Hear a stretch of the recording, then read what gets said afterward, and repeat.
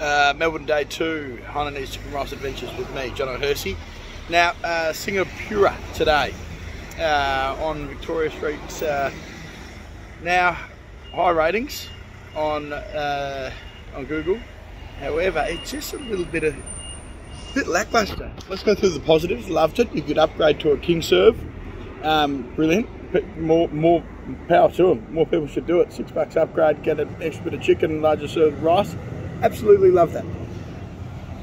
Um, in regards to decor and everything like that, very traditional, um, but obviously sort of just amped up a little bit, a little bit glossier.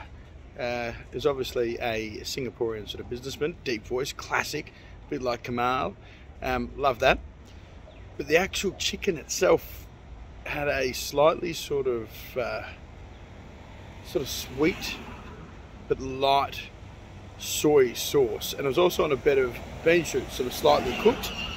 So it detracted. The chicken itself was flavorful, but from oil rather than chicken fat, and therefore not sort of aromatic or nutty. Uh, the stock, good, no complaints, um, and the sauce was sort of very sort of spicy. But the thing is about Hainanese chicken rice it, it, is it's a nuanced dish. So as soon as you start going down that path of flavour, if you add a little bit of flavour, a little bit too much flavour, it becomes a bland dish. It's a delicate dish to start, and if you just put a little bit too much of something, it becomes incredibly boring.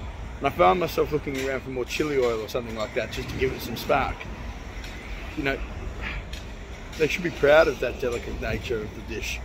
Anyway, 7.2, a little bit disappointing, won't be going back again. Good value, all the best.